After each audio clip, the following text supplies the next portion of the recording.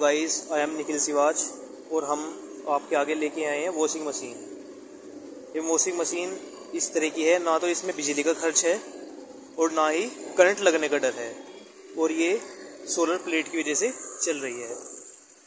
एक रुपए का भी खर्च नहीं है और ये घर के सामान से ही बनी हुई है। इसमें कुछ भी लागत इतनी नहीं लगी है और ये सुबह से शाम तक कपड़े धोती है। और ये हमारे पास एक कल्टीवेटर है, जो कि खेत की जुताई के लिए है।